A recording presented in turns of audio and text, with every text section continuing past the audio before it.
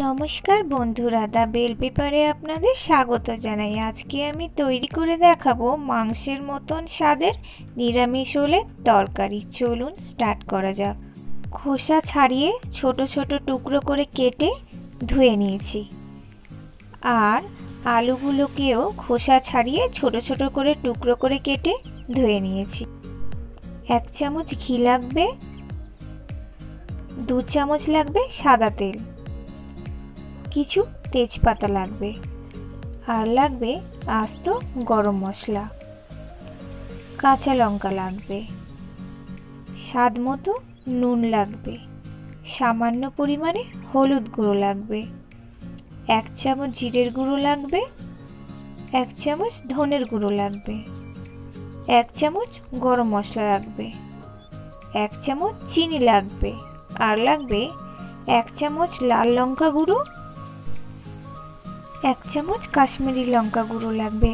আর লাগবে ম্যাগি মশলা ম্যাজিক এক চামচ।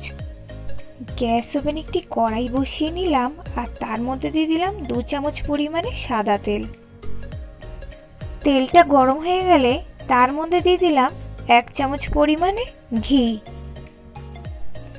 তেল গরম হয়ে গেলে এর মধ্যে দিয়ে দিতে হবে আস্ত গরম মশলা। আর দিয়ে দিলাম তেজপাতা। এরপর একটু নেড়ে ছেড়ে দিলাম। তারপর দিয়ে দিলাম কাঁচা লঙ্কা। আর দিলাম সেদ্ধ করে রাখা ওল আর আলু।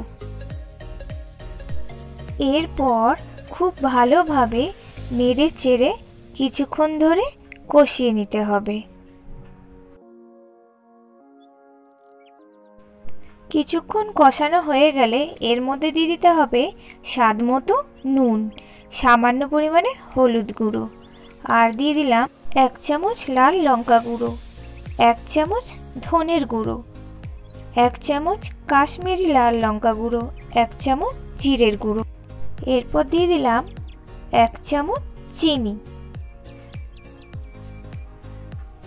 তারপর খুব ভালো করে নেড়ে চেড়ে মিশিয়ে নিতে হবে।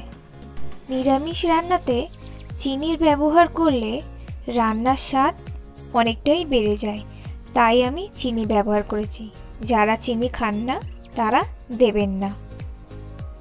খুব ভালো করে মশলাটা মেশানো হয়ে গেলে এর মধ্যে দিয়ে দিতে হবে এক চামচ ম্যাগি মশালা ম্যাজিক। আবারও একবার খুব ভালো করে নেড়ে চেড়ে মিশিয়ে নিতে হবে। মশলাগুলো খুব ভালো করে কষানো হয়ে গেলে এর মধ্যে দিয়ে দিতে হবে সামান্য পরিমাণে জল। যেহেতু ওলার আলু সেদ্ধ করা আছে, তাই জল খুবই কম দিতে হবে। এরপর আবারও একবার নেড়ে ছেড়ে মিশিয়ে নেব। খুব ভালো করে মেশানো হয়ে গেলে, শুকনো শুকনো হয়ে গেলে এর মধ্যে দিয়ে দিতে হবে এক চামচ গরম মশলা গুঁড়ো। তারপর আবারও নেড়ে চেড়ে মিশিয়ে নেব।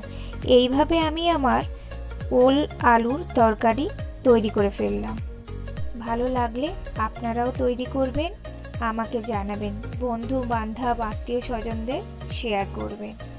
আর আমার রান্না ভালো লাগলে লাইক করবেন শেয়ার করবেন সাবস্ক্রাইব করবেন।